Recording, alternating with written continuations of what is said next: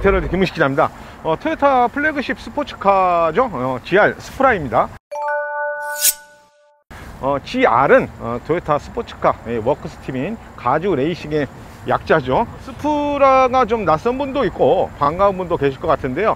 오늘은 이 두 번째 힐링 로드로 어, 송산에 있는 공룡알 화석단지 어, 주변에서 어, 촬영을 하고 있습니다. 수프라는 어, 사실 뭐 단순한 스포츠카라기보다 이 토요타의 heritage 그리고 이 가주 레이싱 모터 스포츠 DNA가 어, 가득 담겨 있는 그런 대표적인 모델입니다. 우선은 뭐 토요타를 대표하는 스포츠카 2000 GT 아시죠? 어, 2000 GT를 계승을 해서 5세대까지 이어져 온 모델인데요. 뭐 중간에 공백이 좀 있기는 했지만 예, 그만큼 정통 스포츠카의 어떤 기본기가 완벽한 모델로 평가를 받고 있습니다. 어, 직렬 6기통 어, 3.0 powertrain이 뒷바퀴로 이 차체를 밀어내는 앞으로 밀어내는 FR 방식이고요. 뭐 이걸 통해서 완벽한 무게 비율 어, 저는 50대 50을 실현하고 또 뭐 극도로 낮은 전고 또 뭐 아주 짧은 그런 축간 거리를 갖고 있습니다. 이 짧은 축간 거리로 얻을 수 있는 효과에 대해서는 뒤에 따로 또 설명을 어, 하겠고요. 어, 전고가 1305mm 그러니까 뭐 초등학생 키만 한 겁니다. 그리고 요 앞축에서 뒤축까지 아까 말씀드린 것처럼 힐 베이스가 2470mm에 불과합니다. 굉장히 짧죠? 보통 준중형 모델의 wheelbase가 2700mm 정도 되니까 아, 비교가 될 겁니다. 예, 그렇기 때문에 실내는 2인승 시트만 갖춰 놓고 있습니다. 그리고 뭐 남은 공간은 전부 이 트렁크로 사용하기 때문에 어, 이런 류의 스포츠카 중에서는 가장 넉넉한 290리터에 달하는 예, 적재 용량을 갖고 있습니다. 전체적으로는 long nose, 예, short deck 예, 이런 황금 비율을 갖고 있습니다. 이 볼륨도 어, 정말 풍부하기 때문에 2인승 전통 스포츠카라는 것을 어, 멀리서 봐도 어, 바로 알아챌 수 있는 그런 아, 굉장히 예, 독특한 그런 실루엣을 가지고 있는데요. 라디에이터 그릴하고 air intake hole이 이렇게 같은 선상에 자리를 잡고 있습니다. intake hole이나 라디에이터 그릴 사이즈가 굉장히 풍부하기 때문에 이런 어, 범퍼 lip하고 딱 어울려 가지고 아 정말 저돌적인 공격적인 그런 전면부를 보여주고 있고요.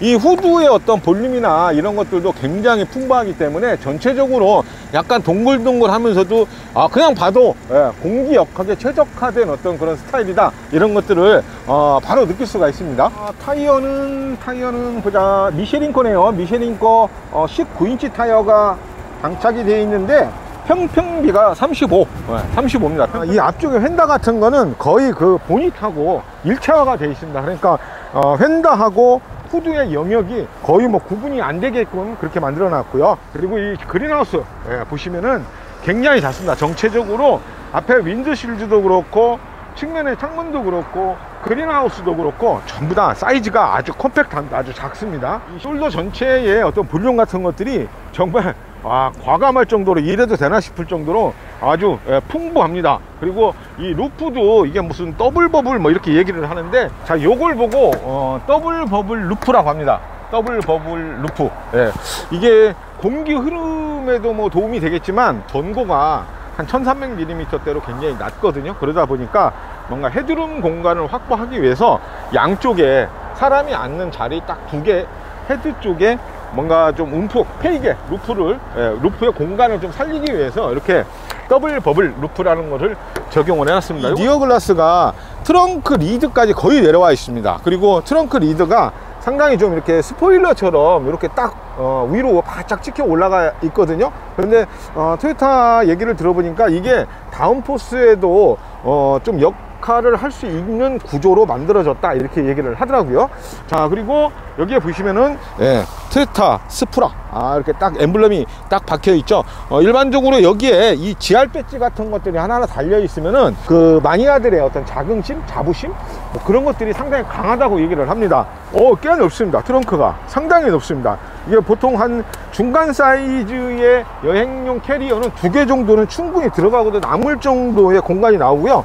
뭐 필요하다면 어, 골프백 같은 것도 두 개 정도는 X자로 어, 싣고 뭐 Boston bag, Boston bag 예, 두개 정도는 충분히 수납이 가능한 그런 공간을 보여주고 있습니다. 수프라는 또 이 two-box입니다. 엔진룸하고 cabin room하고 딱 두 개의 공간으로 어, 구성이 되어 있는 그런 모델인데요. cabin room하고 트렁크하고 이렇게 개방이 되어 있습니다. 오픈이 되어 있습니다. 연결이 되어 있어 가지고 어, 뭐, ski-through 같은 건 별도로 없어도 그런 것도 충분히 수납이 가능한 그런 구조를 갖고 있고요. 예, 그리고 어, 뒤쪽에 이제 두 개의 대형 머플러가 있죠. 지금 여기 가운데 보시면은 어, 점점점점으로 되어 있는 라이트가 보이시죠? 예, 저거는 후진등 그리고 또 야간에 안개등 뭐 이런 역할도 한다고 합니다. 자동차가 신차가 나오면 뭐 그런 얘기들 많이 합니다. 앞쪽은 뭐 닮았고 뒤쪽은 뭐 닮았고 뭐 어디는 뭐지를 뭐 어떤 차랑 너무 똑같고 뭐 이런 얘기를 많이 하죠. 그래서 뭐 카피를 했다, 베꼈다 뭐 그런 얘기를 많이 하고 하는데요. 전면이나 측면이나 지붕이나 뭐 트렁크의 어떤 그 마무리나 이런 것들이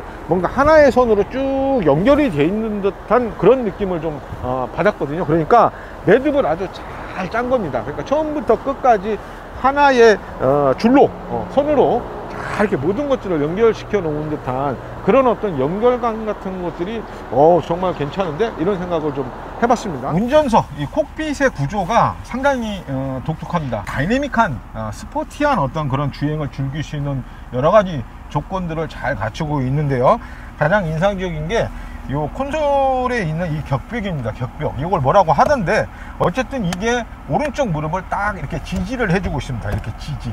그 엑셀레이터에 발을 딱 대면은 대부분 어, 다리가 이렇게 어, 뭐 의도하지 않게 어, 약간 쪽벌람이 되잖아요. 쪽벌람이 되는데 요거는 어, 오른쪽에 이 콘솔부의 격벽 그리고 왼쪽에 또 도어 안쪽에 이 도어 핸들 같은 것들을 좀 안쪽으로 많이 예, 끄집어 내 가지고 뭔가 딱 운전을 할 때 좌우의 무릎을 양쪽에서 이렇게 딱 받쳐주고 지지를 해주기 때문에 전혀 운전하는데 뭐 그런 부분에서 느끼는 스트레스가 전혀 없습니다. 스포츠 시트도 가운데에 무슨 뭐 이제 뭐 이게 알칸타라 같은 데 알칸타라하고 일반 가죽하고 이렇게 어, 혼용을 해놨습니다. 그리고 headrest도 일체형으로 이렇게 딱 해놨기 때문에 상당히 견고하다는 느낌이 드는데요. 무엇보다 예, 무엇보다 이 버킷에 예, 깜짝 놀라게 됩니다.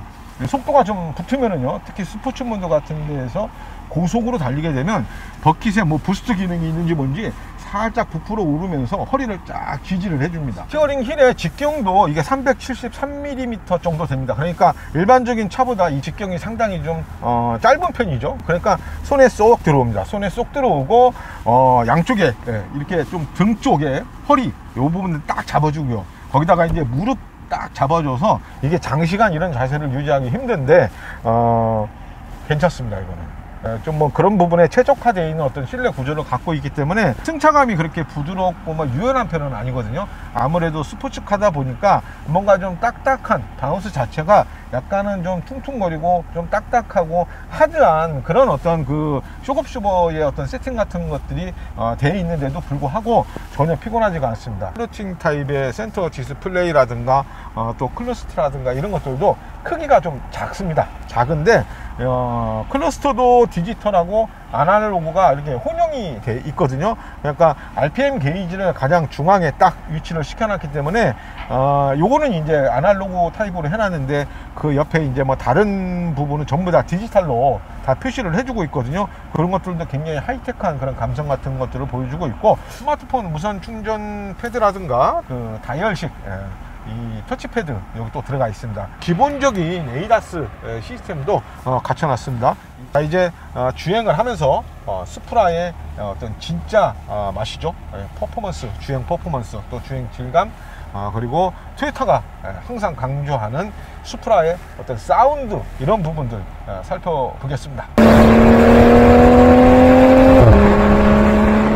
자, 여기가 아까 제가 소개를 해드렸죠. 화성에 있는 송산면이라고 하나? 여기 송산면인데 지금 갈 데가 살짝 올라와 있는데 어, 공룡알 화석단지가 있는 곳입니다. 코로나 때문이기도 하지만 예전에도 조금 한가했습니다 얘가. 이 위에가 이게 전부 다 이게 다 매립지인데 어, 송산 그린시티라고 해가지고 어, 정말 어마어마하게 넓은 갈대밭 예, 이런 것들이 좀 있고 여기서 광고도 많이 찍습니다. 광고도 많이 찍고 어, 또 여기 굉장히 곧은 길, 뭐 off-road도 적당히 비포장길 같은 것도 있고 그래가지고 어, 여기도 제가 이제 뭐 healing road의 하나다 이렇게 어, 좀 어, 소개를 해드리는 겁니다.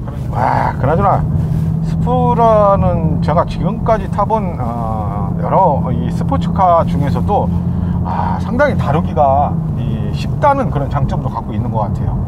아, 이게 축간거리 그러니까 wheelbase가 굉장히 짧죠. 보통 어떤 일반적인 이런 차급의 어, wheelbase하고 비교를 하면 거의 한 300mm 예, 그렇게 짧은 축간거리를 갖고 있기 때문에 handling이 진짜 기가 막힙니다. 이게 약간 좀 불안하게 생각되는 어떤 그런 cornering 같은 데에서도 아 조향이 확실하게 들어갑니다. 그러니까 어, 처음에는 약간 좀 이제 예, 좀 감속도 하고 이랬던 그런 구간도 제가 지금 여기를 몇 번 왔다 갔다 하는 그런 구간인데 아 지금은 뭐 거의 감속을 하지 않고 아, 그냥 조향을 해도 그런 어떤 handling 예, 이런 퍼포먼스를 기가 막히게 보여주기 때문에 전혀 불안하지 않게 예, 드라이빙을 하실 수가 있습니다. 수프라는 L6 twin 어, scroll turbo 어, 이렇게 부르는 2998cc 배기량의 직렬 6기통 어, 가솔린 엔진을 품고 있습니다. 최고 출력이 387마력 어, 최대 토크가 51kg FM 이렇게 발휘를 합니다.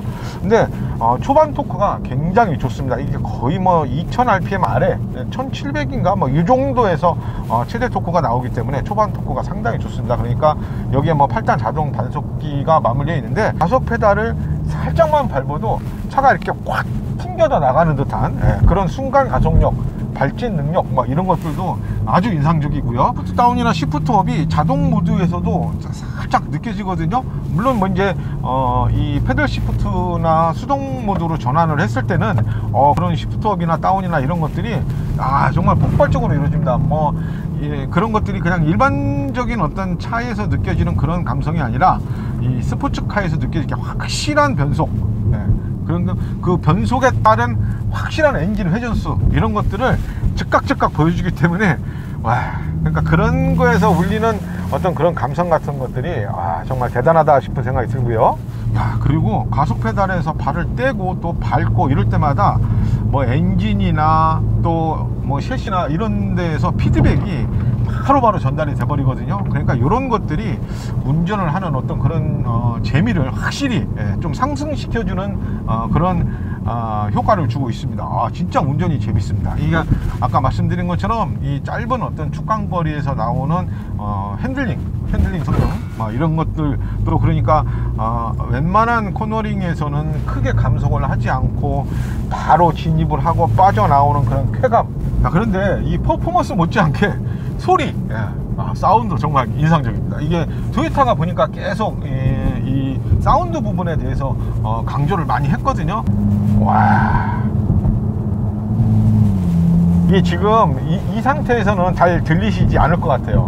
이게 배기 사운드가 아, 뭔가 실내에서 제가 지금 이렇게 듣는 것하고 이게 영상으로 한번 걸러져서 이렇게 전달되는 것하고 전혀 다를 것 같은데 그쪽에다가 뭘 달든 뭘 해가지고 한번 요 사운드를 배기 사운드를 한번 어, 담아볼 수 있도록 하겠습니다. 어, 이게 담아지려나 모르겠는데 하여튼 네, 한번 담아보겠는데 제대로 담지는 못할 것 같습니다. 한번 해봤어. 네, 소리가 담길라나 모르겠네. 에이차! 아. 오. 와.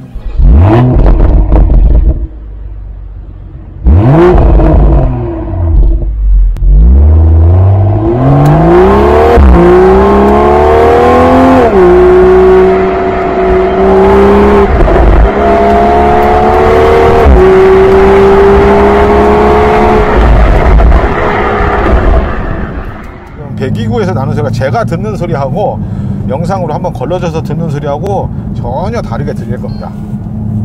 이게 스포츠 모드 지금 제가 지금 해놨거든요. 아... 스포츠.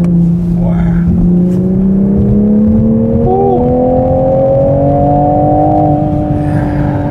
다른 차에서 나는 팝콘 소리처럼 타타타타닥 이런 게 아니라 어, 뭔가 깊은 울림이 있는 그런 어, 사운드가 나오거든요. 뭐 이게 스포츠 모드에서는 뭐 소리뿐만 아니라 뭐 페달 반응이라든가 뭐 엔진 사운드 어떤 깊이 이런 것까지 이게 확 달라지거든요.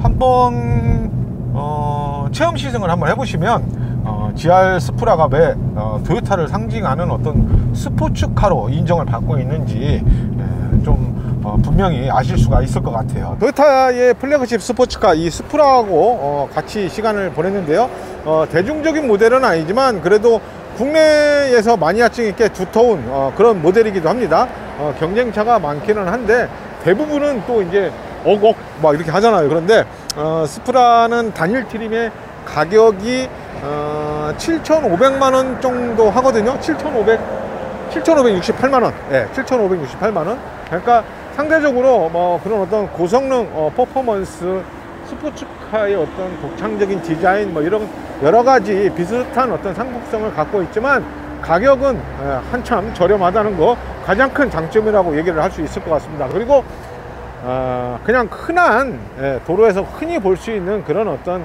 스포츠카 뭐 이런 것들 어, 보다는 뭔가 희소성 면에서 예, 그런 가치도 분명히 갖고 있는 것 같아요. 그런데 이게 한국에서 팔 수 있는 물량이 그렇게 많지는 않다고 합니다.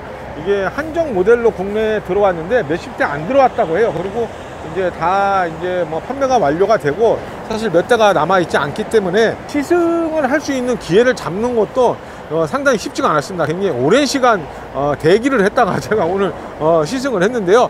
어, 타 보니까 GR 수프라 어, 뭐 강렬한 인상을 갖고 있는데 모처럼 뭐 재미있는 어, 시승을 한 것 같아서 아주 개인적으로도 기분이 상당히 좋습니다.